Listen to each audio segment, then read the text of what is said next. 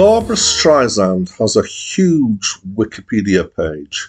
Uh, she's a singer, actress, and director. Uh, her career has uh, been going since 1960 and it is still going. So that's covering six decades so far.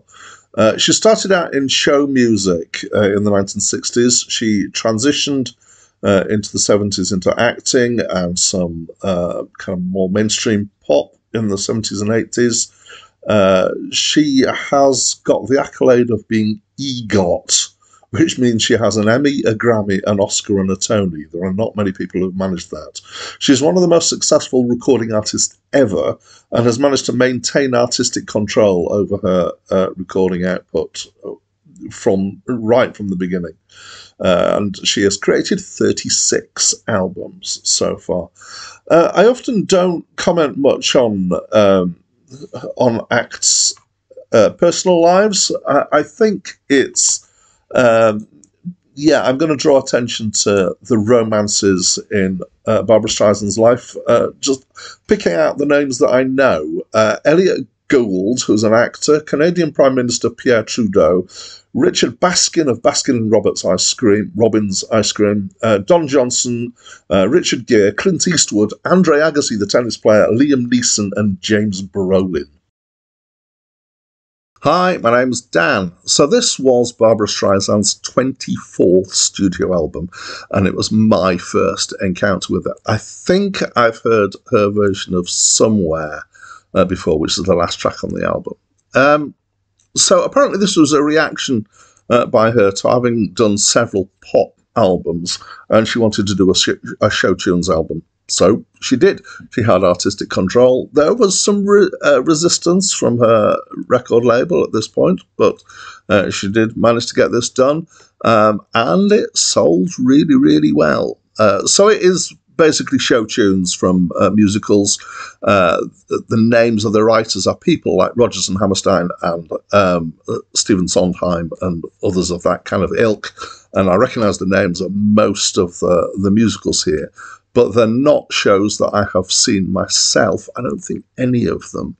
Um, the the music's done kind of fairly typically with a kind of you know sort of uh, medium small orchestra, but also with assorted 80s sounds in there, particularly um, uh, synth sounds and drum sounds. I guess this was an attempt to make it sound more up to date at that point. Um, and I think that the um, the kind of downside of this was that it now sounds dated. And if they'd stuck to kind of classic uh, instrumentation, it probably wouldn't have sounded so dated now. It's not bad, you know, in that sense. Um, so, uh, Barbra Streisand can sing very, very well. Uh, she's uh, extremely proficient technically. She's quite expressive uh, with her um, uh, with her singing. Uh, and apparently, these songs have been picked because they mean things to her. So, uh, my perspective is that show tunes are really not my kind of thing. And a while ago, I realized that mostly this is because of the style of music. And there are some shows, um, so depending on the style of music, that I actually have really enjoyed. So, Little Shop of Horrors, for example, is the sort of thing where the, the soul music in that I actually really enjoy. Um, but this kind of music, not my cultural background, uh, not my uh, kind of, it doesn't feel relevant to me in in that sense. So uh, I'm sure it does, or in fact, I know it does to many people, and they uh, they respond well to this music. Uh, for me, it feels a bit overly uh, dripping in honey and theatrical, um, and just a little bit over kind of blown and overdone. Uh, that uh, I accept that this isn't necessarily consistent with the fact that I really like most progressive rock, which, if there's any kind of music that's theatrical, it's progressive rock. But I think it's in a different way.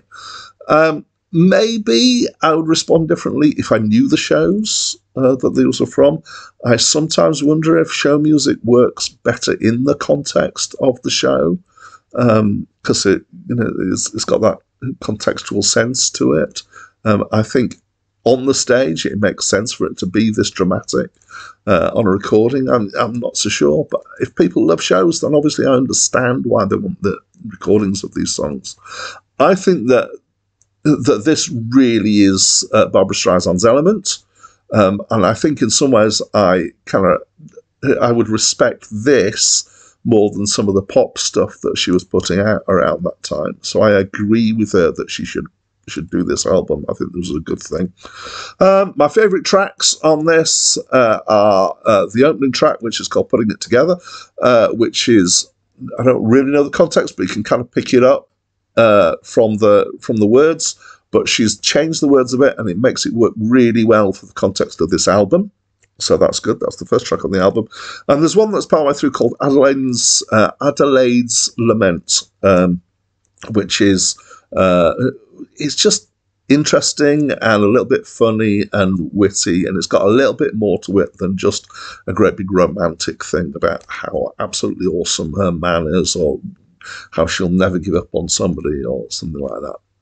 So, yeah, not my kind of thing. I I'm not reacting as badly against it as I might against some show tune stuff because she is pretty good at this, I have to admit. Um, but yeah, so it was all right. What do you think? I'd love to get your perspective, uh, so please let me know in the comments below. That's it from me for now. In other words, just from waiting around for that plain little band of gold, a person can develop a cold. You can spray you figure the streptococcus I like. You can give her a shot for whatever she's got, but it just won't wake. If she's tired of getting